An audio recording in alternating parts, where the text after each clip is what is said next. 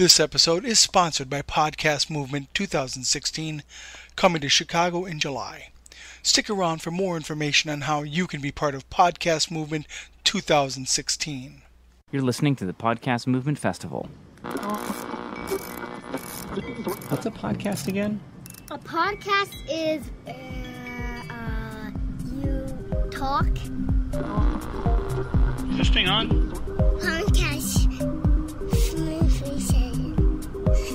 It all has to do with the same thing. It's content and delivery and exciting people through sound. You're listening to Podcast Movement Sessions. I'm Brian Orr, and today we're going to be hearing from Nikki Silva of the Kitchen Sisters. Now, the Kitchen Sisters are Nikki Silva and her longtime partner, Davia Nelson. They've been making radio for years, well before podcasting, but now they're producing the Fugitive Waves podcast together, which is part of the Radiotopia family. When I went into Podcast Movement 2015, I knew that going to the session with Nikki was going to be one of my highest priorities because she truly is an expert at making phenomenal stories. So I got to sit in on her session, which is great, which you will hear. But afterwards, I was going back to my hotel room, and she was on the same floor as me. She was entering her her hotel room, and of course, me being a creepy fanboy, I walked up to her and said, Nikki. And she turned around and I said, Hi, I'm Brian, blah, blah, blah. And then I said, You know, I really enjoy your work. And she responded, Oh, that's great. Have you ever cut tape? Which was not a question I was expecting. Now, obviously, I know in the professional sense, cutting tape, the, that was the old style of editing. But in that moment, I, I had to answer the question and I said yes. And I wasn't lying because when she asked that question, I remembered when I was 10, 11 years old, I had this little recorder and I used to make little radio dramas with my friend and my brother and I would cut the tape and, and like edit it that way and tape it back together and listen to it again. So funny that she asked the question, but it actually r- reminded me of something that I did as a kid. I talked to Nikki, and that was one of the first things I asked her about is, you know, what was it like collecting and editing back before the digital systems that we have nowadays for editing? We used to go out with a cassette tape recorder. It was a very big cassette tape recorder. It was an old Sony.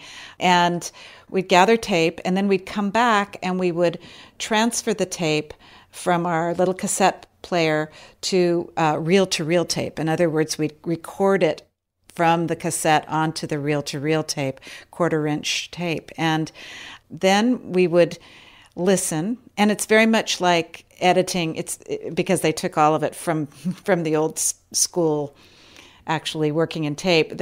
When you work on the computer in Pro Tools or Hindenburg or uh, GarageBand or whatever, a lot of that is kind of even the way everything is laid out and it looks. It's kind of like when you're cutting tape. You put your cursor down now and you make an edit mark and then you go along and you make the other end of the edit mark and you take out that piece of sound in the middle. And that's very much like it was with the actual reel to reel tape. But we'd use a razor blade. First you'd first you'd listen and you would mark the first, you know, the where you wanted to start your edit. You'd take your grease pencil and you'd make a little line physically onto the tape. And then you'd listen until it was time to stop. And you'd take your reels back and forth and listen for that silent spot in between so you wouldn't be cutting off a word.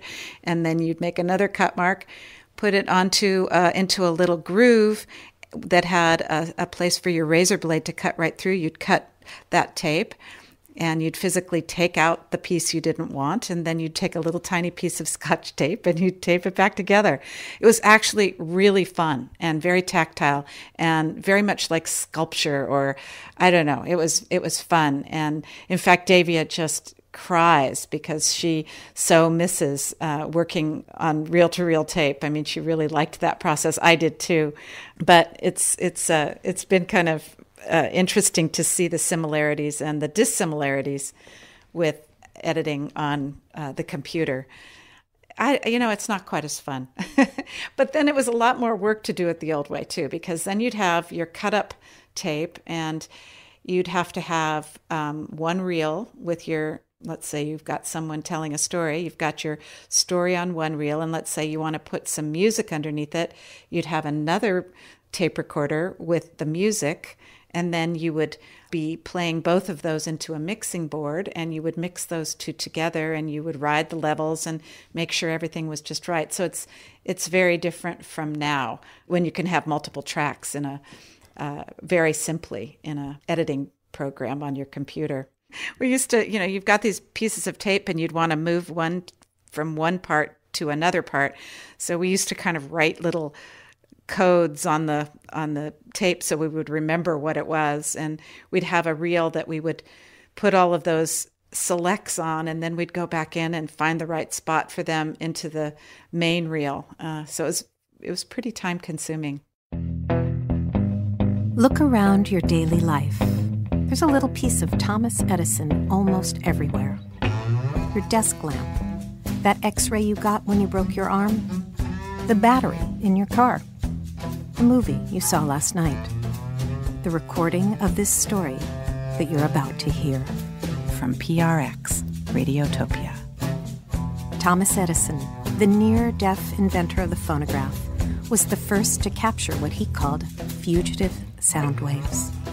I am the Edison phonograph, created by the great wizard of the New World to delight Edison may have invented the talking machine, but in order to hear the music coming out of it, he had to bite on the edge of his phonograph so the music would vibrate through his jawbone. When you go to visit his house in New Jersey, look for the teeth marks on the edge of his piano. Good evening. This is Admiral. Serve your friend the beer with that new 19. Welcome to Fugitive Waves. Butterfield, are you aware of the installation of any listening devices? Lost recordings, shards of sound, along with new tales of remarkable people from around the world. Yeah, I also got a letter from Amy. Stories from the flip side of history. 43. I sure hope. Hi, everybody. that was Davia.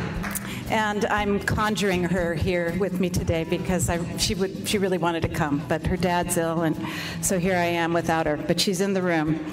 Uh, Davy and I started doing a live radio show on a small community station in Santa Cruz, California, over 30 years ago. What I'm finding really very exciting about right now, and especially being here at the uh, podcast uh, movement festival, I'm calling it a festival, not a conference, is that it's really a lot like when we first started out, I feel, in community radio. Uh, the mood and the spirit and the energy and the issues are all very much the same to me. Um, the world seemed wide open in your presentation, you said, uh, I call it the Podcast Movement Festival, not the conference. So tell me a little bit about what that word means to you, because there's something dear to you in that word. Yeah, I, I think festival's the perfect, the perfect word for it. I mean, we're all coming together and sharing all of these ideas. And I think of a conference, I think of something kind of um, staid and uh, technical and um, you know in this festival i thought everybody was just having a great time and and learning a lot from each other. And uh, i loved kind of the excitement of it and the newness of it. I think that to me is the difference between festival and conference. Davia and i had never heard of npr it didn't air in our area. There were no rules that we knew of. It was kind of like the Wild West, like now in podcasting. And it's being created as we speak. So I think one of the big things is the time constraints. No time constraints and no rules and no money for most of us and a lot of passion. And the other thing is we're speaking directly to our community, which we were doing back then too in community radio and developing a devoted listenership. We started out like many podcasters today, working in this little closet. It was a radio station. It was right on the beach. It was teeny tiny. And the signature sound of the station was we'd dangle the microphone out over the railing of the porch and record the surf lapping on the beach. And that would just kind of play in the background throughout. And we had this two hour show every Tuesday. It was a really eclectic mix of music and call ins and live interviews with filmmakers and politicians politicians and Italian grandmothers and anyone who captured our ear. We were possessed by oral history. We traveled around our region recording just about anything that moved. We'd come home with hours and days of tape, and even though we loved every minute of it, we quickly realized that no one was going to listen to this but us. So we gradually taught ourselves to cut tape and with a razor blade and bits of scotch tape, and we began to create, you know, kind of what we imagined. I don't know what we were thinking, but little sound movies, and we would embed them in our in our show, and we were really just kind of entertaining ourselves and getting excited about all the possibilities. One of the earliest inspirations for our work came out of my dad's garage in Oakland. He was a pack rat. Ernie's garage. It was notorious. He had everything you could ever want or imagine in there. And deep in the far back one day, he unearthed two cardboard boxes labeled Mom's 78s that he thought would be great for our show. So I went up there and I hauled these boxes back to Santa Cruz, and Davy and I kind of rifled through them, and it was a treasure trove of old jazz records. And somewhere in between Ella Fitzgerald and Hoagy Carmichael, we found this. Hello, Louie. This is your wife again. To start off, honey, I want to tell you I love you very much. This week I've received no mail from you yet, but I was a lucky gal last week. I got seven. Today I also got a letter from Emil. In his P.S. he said, we ski in 43. I sure hope so. Gee, Lou, I hope so too. Well, we got a big record this time. We heard, too, pretty soon that they're not going to make any more of these records, so I've bought up as many as I can so I can at least send one every month to you. Maybe I'll sing a song for you, too, honey. Won't that be swell? Um, what else? Oh, listen, you. Stay out of those pubs and away from those barmaids. Tell me some more about what you're doing instead of... You don't tell me very much in your letters. How's the dancers, Pop? Do they jitterbug there, honey? I bet they don't dance as nice as we do. This is for you, Louie. Fish gotta swim, birds gotta fly. I've gotta love one man. The record went on for about, I don't know, three or four minutes on the side, and Davy and I were just blown away. I mean, who was Mrs. B? I mean, who was she? And who was Louie? And my dad had no idea. We had no idea. We searched for her for years and never found her. But there was something about her voice and about her intonation and the pauses and the air in the room. It was such an audio time capsule from World War II we became obsessed and we began asking everybody we knew about home recordings. And these discs were out there, forgotten, lost, hidden away in people's attics and stereo consoles, in the record bins at Goodwill. We found so many voices, little windows into history. My mom even made one. She went down to the local radio station in Oakland and they recorded her talking to my dad and they sent the record to him overseas. He carried it around France with him throughout the whole war and brought it back home, my mom's voice. It was the Louis letter and all these other home recordings that we found that later inspired our series Lost and Found Sound that we did on NPR with Jay Allison. It was celebrating the millennium, chronicling how recorded sound shaped and captured the 20th century. We opened up a phone line and thousands of people called in telling us about recordings and stories of people possessed by sound, crowdsourcing before there was a name for it. Thomas Edison came up quite a bit, that driven, eccentric, passionate genius who invented the first talking machine. Edison kind of set the stage for all these other guys and women who came out of the woodwork with this project, and he was an experimenter, a tinkerer. To make his early sound recordings, he had performers shout into a large cone. The cone funneled the sound waves down to a diaphragm that vibrated a stylus that cut into a rotating wax cylinder. No microphones, no amps, just powered by sound waves.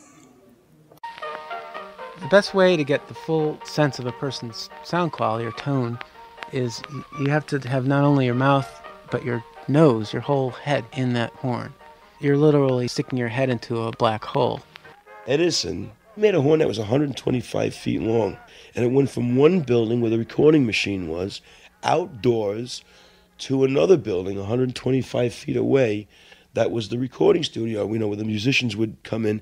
His idea was that it took sound waves 125 feet before they would untangle themselves. This is needle 100 dash 50 dash B1.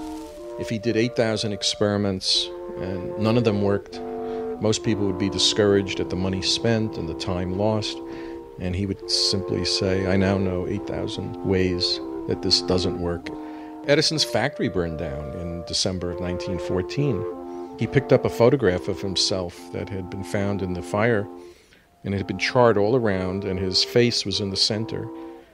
And his face was not burned, and he scrawled on it, Didn't touch me, right on the picture. And that picture survives. The next day, he was you know, in the papers appealing to people for chemicals and lines of credit. Within uh, weeks, he was uh, issuing records again. It didn't floor him at all.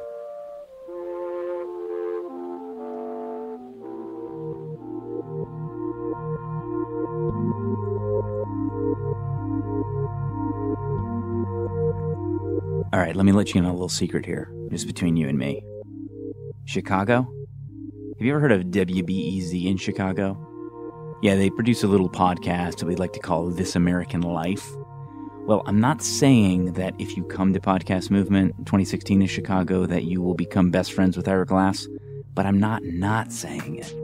I mean, it can't hurt your chances, right? Anyway, so Podcast Movement 2016, Chicago, Illinois, in July. Go to podcastmovement.com to pick up your tickets.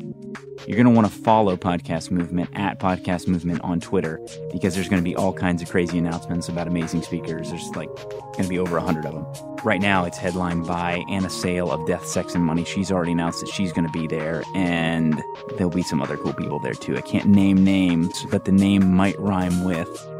Just kidding, I'm not going to do that. Podcastmovement.com. Most of our stories come from talking to people, and we had just come up with the idea for the Lost and Found Sound series. And Davia, Davia is also a casting agent. She works in movies sometimes, and she was in Memphis working on a Francis Ford Coppola movie, um, Rainmaker. So she's a casting director and she's looking for people. She's standing next to this guy who has great hair. So she kind of launches into a conversation with him about music and food. And then she starts talking, saying it out loud, all about our Lost and Found Sounds series. And the guy says, he just starts to crack up and he goes, You gotta come meet my dad. And he goes, And I think you're gonna wanna meet my mom too. And it turns out his dad was Sam Phillips, uh, the man who first recorded Elvis Presley, Howlin' Wolf, Johnny Cash, and so many groundbreakers in sound. And his mom turned out to be Becky Phillips of WHER, the first all girl radio station in the nation, started in 1955 by Sam Phillips. And when Sam sold Elvis's contract, he used the money to start WHER.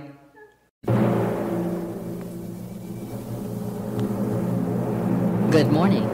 This is WHER Radio, America's first all girl radio station, Memphis, Tennessee. WHER 1430 kilocycles with full power of 1,000 watts as authorized by the Federal Communications Commission, Washington, D.C. We cordially invite you to stay tuned to WHER Radio all day, every day. We signed on October the 29th, 1955. The thing was, nobody knew that we were going to be all girl. Each girl thought she was going to be the only girl on the radio station. Dottie Abbott, who I hired as general manager, I told Dottie, and she almost shouted, I don't believe you, Sam. I know you're crazy, but you're not that crazy. You know, I mean, she was just beside herself. You were invading man's territory. I mean, you were supposed to be a guest or something if you're going to do anything as a woman on radio. This is WHER Radio, America's first all girl radio station for sparkling. I'm Sam Phillips, and I'd wanted a radio station all my life. Radio to me, it's it's a living thing. Sam Phillips was best known for Sun Records, um, but before Sun Records, before WHER and Elvis, In order to fund his passion of recording black and white musicians coming out of the fields and tiny towns of the South, like so many of us in this room, he had to take on other work to help pay the bills. He was broke.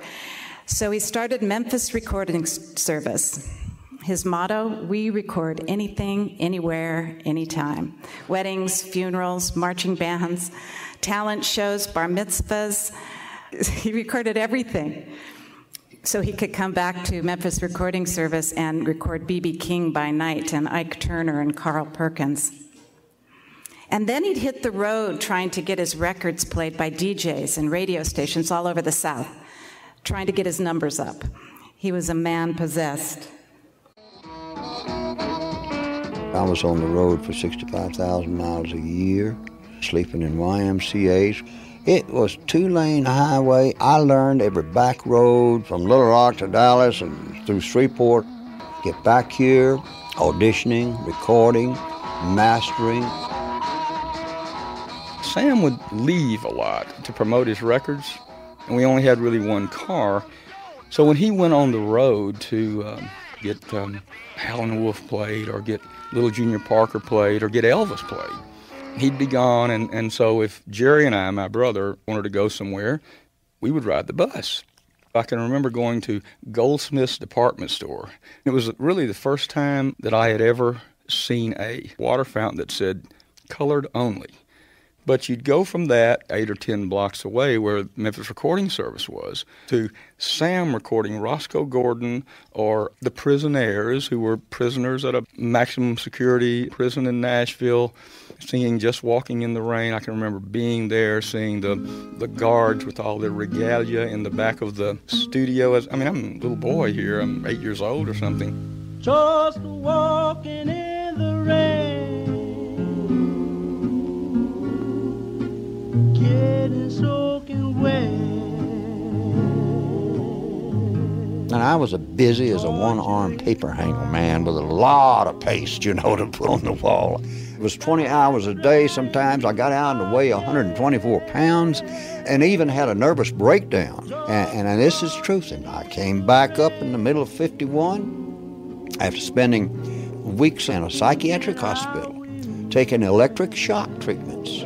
I was totally mentally exhausted because I had such an absolute belief in what I was doing. I just thought that was a small price to pay.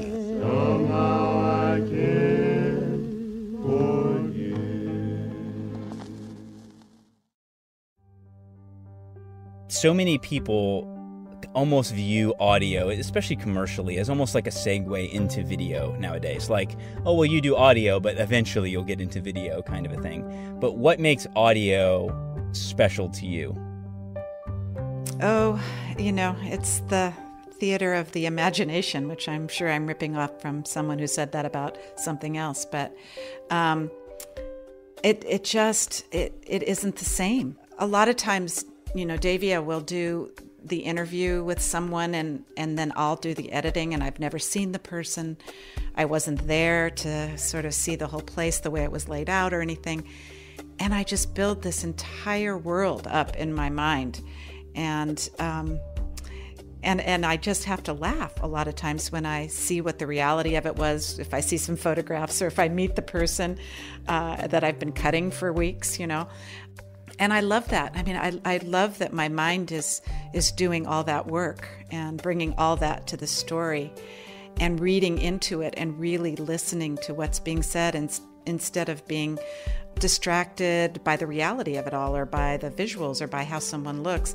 I love film. Film is kind of the way I got into all this. I wanted to be a filmmaker in the beginning and made some films, but I did move this way, and it's kind of interesting to me the ease of it, the simplicity of, of interviewing someone. They don't feel so self conscious when you're when you just have a microphone and, and if you do things right, if you hold the microphone properly, which you should, below their eyesight, I mean they kind of forget about it. Whereas with with film there's it's the special person that kind of can really sit there and talk to you in an intimate way and have the camera on them and and I feel like there's something about the voice, you know, there's something very real and deep and it's it's hearing is the first sense that we experience, you know, in the womb and and it's probably they say the last thing before we die, you know, is is hearing. That's the one we keep and and have from the start. And I I just think it's uh, it's a very profound sense, um, and and there's so much you can do with it, and so many ways you can put it together with music and sound to create an entire visual. I mean, I feel like Davy and I often say this. We feel like we're making little movies in our work. And we go to a lot of work to make these little audio movies, but I think that they're special and, and different than if we'd be making if if we do the same story in in uh, in video or film. It's um it's a different story. It's a different medium and an equal medium to film. Before the tape recorder, there was bone music, at least in the Soviet Union. We were doing a story about the impact of the kitchen on life in Russia during the Soviet Union era. And during Stalin's time, most people in Moscow lived in communal apartments, like 10 and 15 families sharing one apartment, one kitchen, one bathroom, no privacy. And then Nikita Khrushchev came in and he built these enormous apartment buildings with tiny little apartments in them, and they had tiny little kitchens. But these kitchens became these hot spots of, for culture because it was the first time people could eh, get together with their friends without being afraid of the KGB. And they were places where food, vodka, politics was debated, and forbidden books and music were shared. And they were called dissident kitchens. They took these used x rays, okay, with bones, pictures of bones on them and skulls, and they had no acetate, and vinyl was very rare and expensive in the Soviet Union, and they made these bootleg records right onto this acetate with the grooves, and they're absolutely beautiful artifacts on, and on top of being incredible things to listen to. And you can hear Elvis on bone, they call it. A lot of our stories have come from the hidden world of libraries, museums, and archives. And one time we were doing research at the Rodgers and Hammerstein archives at Lincoln Center. And right as we were leaving, we asked archivist Donald McCormick about the lost sounds in his archive. You know, what's in there that no one knows about but you? And that's when he pulled out the eight cardboard acetate discs made by Tennessee Williams and his lover Pancho at a penny arcade in New Orleans in 1947. 6A5 Princess Interview. The speakers are Tennessee Williams and Pancho. This is Vanilla Williams uh, interviewing Princess Rodriguez, who just arrived here from Monterey. Princess, what do you have to say about the trade here in this town? Now, have you gotten around much yet? Oh, yes, I have, Vanilla. I have gotten around. I've been cruising on Canal Street, you know. Oh, honey, you get off Canal Street. Miss Canal Street is no good. You should get on Mr. Royal or Mr. Bourbon. You should get a personality bar. This is place for you girls. The personality bar? Yes, ma'am. Uh, Princess Rodriguez, you get your ass up to the personality bar. Pancho had a sense of humor. Tennessee being a sexual minority and Pancho being a Mexican, they both took their look at society as being preposterous in many ways. Pancho was given to temper tantrums, apparently. And on one occasion, when he was angry with Tennessee and Tennessee was gone, went into the closet with, with scissors and cut up all of Tennessee's clothes. At that time, when Tennessee met him, he was writing the play Streetcar Named Desire. And in Pancho, he had a, a kind of a role model of the character that he would eventually create in Stanley Kowalski. And uh, because of Pancho's dominance over him, he was playing out the role of Blanche Dubois. Even the thing about the kindness of strangers, that famous line, came out of uh, Tennessee having said you bring strangers into our house. Pancho's reply to that was, Some of my best friends were strangers. Tennessee Williams, when did you get the Over the 30 years we've been working together, Davy and I have amassed a kind of accidental archive of voices and stories. Thousands of hours of tape on almost every recording medium imaginable. There's so much dead media to contend with reel to reel tape recorders and cassette players and mini disc players. What we're loving about podcasting is that it's bringing things full circle for us back to the live radio days, experimenting, using our voices, mining our archives. We're off the clock. We can take the time to explore the side roads, to tell some of the backstories we tell our friends at the dinner table. In one episode that we did, um, to get to the main story of the piece, we meander through the neighborhoods of North Beach, where our office is, into the sounds of the Green Street Mortuary Band, which is an Italian marching band that marches for the Chinese funerals all through Chinatown, which is fabulous. And then we stop off, and Lawrence Ferlinghetti reads the poem that he wrote about the marching band. And then we kind of wind up at City Lights bookstore where, where we see a book in the window. And that's kind of where the story begins. The book was titled Patti Smith, 1969 to 1976. Paging through it, we discovered that Judy had not only photographed Patti, she'd also made little Super 8 movies as the two young women created a world together. The movies were missing, but the soundtracks remained. Lost and found sound, we thought. Gotta get those recordings. Gotta meet that photographer. And we did. Fugitive Waves, episode number seven Just Girls, The Hidden World of Patti Smith and Judy Linn. Is it on? What do I do now? um, Patti Smith and Judy Linn. Well, I'm Judy Linn.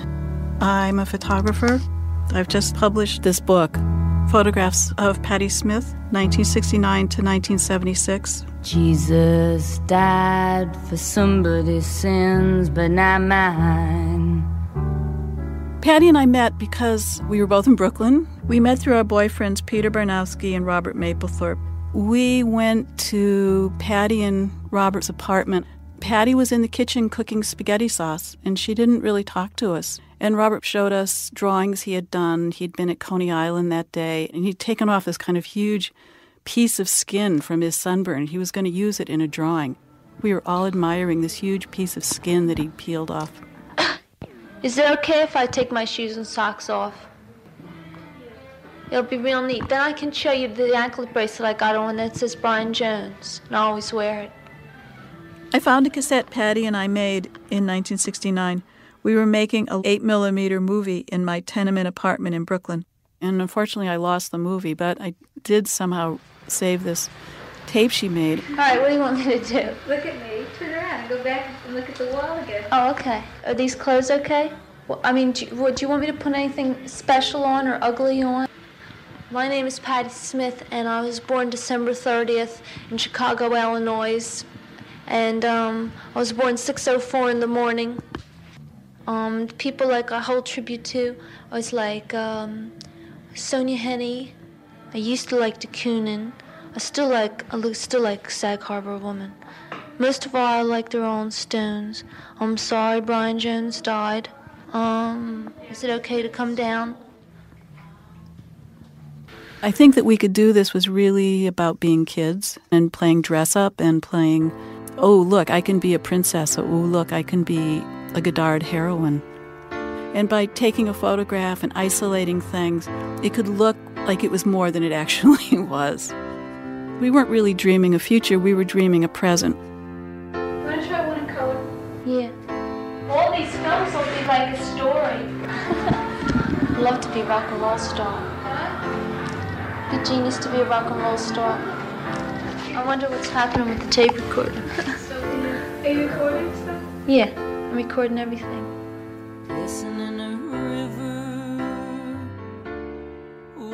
I'm recording everything, she says. I love that line.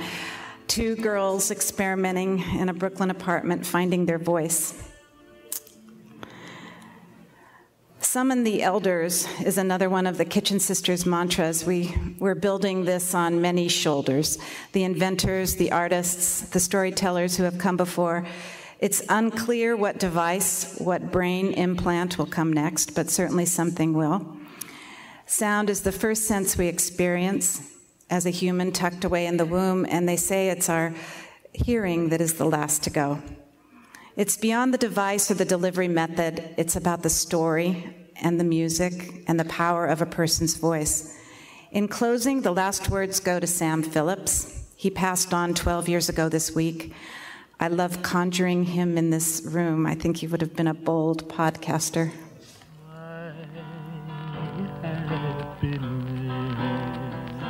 There is nothing even close to being as intimate as a person's voice. There's not. I mean, even the picture of a person, listen to this, talking about sound. That to me lets you in to the soul world. You get to feel the heartbeat of that person. As we go into the 21st century and get on down the line, it is totally amazing what you can do with sound and how it has changed the face of this earth. That's the only reason I hate to actually exit this uh, planet. I, I had to take that trip. One of these days, I could take sound and stop these damn wars. It's just got to be God's best creation was sound, in my opinion.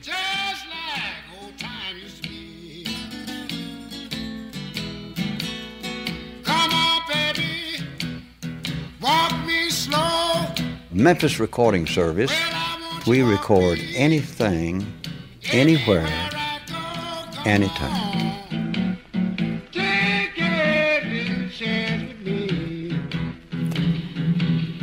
Thanks so much. Well, like I wanted, baby. Like old time used to be. This brings us to the close of Nikki's talk at Podcast Movement 2015, but I found out something about Nikki when I was uh, researching her, and turns out she lives in a commune, which I kind of have something in common with her. Growing up, I had a family of 12 who actually lived with us in our house for long periods of time. And uh, I, my wife comes from a family of 12 as well. So I'm used to these enormous groups of people. I felt that common bond with Nikki on that. So I asked her about the commune and what that's like and what that's all about. In 1979, a group of us got together and we weren't trying to create any special kind of cult or we didn't have dietary restrictions or anything that we believed in uh, as a group, but we did want sort of the same thing, which was a good place to live and a beautiful place to live and an affordable place to live. So we pooled our money and we found a piece of property that at the time seemed really, really out of our reach, and it would have been if we'd acted by ourselves. But we pooled our resources and we bought a piece of property, took out individual loans to pay the down payment at the time, and, and then just began paying the monthly payments, which turned out to be about what we were pay- we would have been paying in rent anyway. And there were eight of us at the beginning. There's three families here now that live on the property. We've been here since the beginning. We've raised kids here. I think the secret to it all has been there's two things the architecture and eating together every night. Um, I think we have a big main house that's about 50 by 50, and we have a big uh, kind of main kitchen, and then we have individual sleeping houses. And the individual sleeping houses don't have kitchens. They have a half bath, they don't have their own shower. So they were very inexpensive to build, relatively speaking. And the main house has a beautiful big kitchen, kind of an industrial restaurant style kitchen. And uh, one of our partners is an architect designer who's designed a lot of kitchens for restaurants. And you know, he was very strong on this sort of stainless steel, very, which is now very popular. But at the time, you know, I was kind of, you know, crying about wanting my little tablecloths and curtains and things. But it turned out that he was so right to have this big, beautiful, very functional kitchen. There's a dish room where you can shove the dirty dirty dishes in there and then the person who cooks does the dish dishes at night and sort of takes care of all the mess and you never have dishes in the sink. So there's all sorts of architectural details like that that i think really made it work. And the privacy of having your own space and then being able to go into the communal space when you want to be with people uh, and to eat every night. And the eating is key. I mean we found out early on that We can't have meetings because all we do is fight. So we sort of dropped the meeting idea and we have dinner. We have dinner every night. And yeah, sometimes we fight at dinner. It's like everybody, it's like every family. But, you know, you have to be there the next night to either cook or eat, and things just get worked out. And there's just a lot of trust, obviously, that's grown up over the years. And we definitely know how to push each other, other's buttons if we want to. But uh, overall, I would say the good has very much outweighed any issues and um, hardships. Uh, it's it's it's been wonderful, and it's been great to raise kids this way. All of our kids want to do the same thing. You know, they're all sort of trying to look for land and figure out how they can do something similar. It's been a it's been a good thing. It's interesting that you mentioned that your kids want to do the same thing because that's kind of the ultimate litmus test, I guess, for uh, for whether or not something worked if they experienced it and want the same for them and their their families. Well, that was kind of interesting because you know, all, every one of them when they went off to college. All, well, the four girls that grew up here, and then there's two older kids too that were here um, from the beginning, but they were a little bit older. But the four girls who were born here and raised here, all of them wrote their college essays about growing up this way in a communal living situation, and uh, and then they all came home.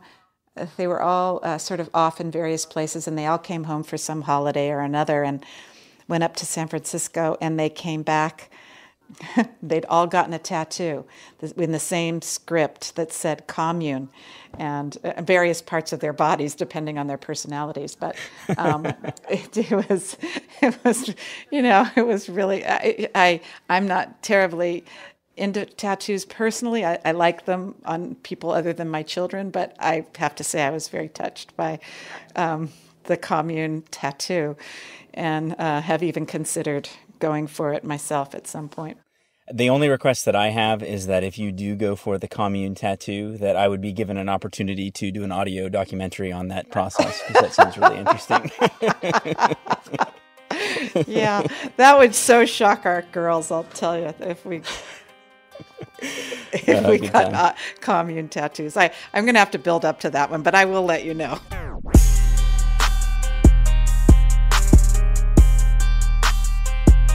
All right, I want to give special thanks to some people who left us reviews on iTunes. That's always so appreciated, and uh, the great reviews we got actually landed us on the front page of iTunes, which is pretty, pretty stinking awesome. So I want to thank Bill Nowicki, Alex Harris, Daniel Bowling, Amy Robles, Melissa Wilson, Jessica Rhodes, Jeff Brown, Tony Elam, Tim Page, my good friend Fred Dews, Joe Pardo, Daryl Darnell, and then always I want to thank Jared and Dan. They are the ones who made this awesome conference in the first place as well as just thanking Nikki for how generous she was with me and even sharing the commune story with me. That was pretty cool of her to do that. So, if you would be willing to leave us a rating and review on iTunes, that would be super cool of you too, but I think you're super cool anyway, so I'll see you next Monday.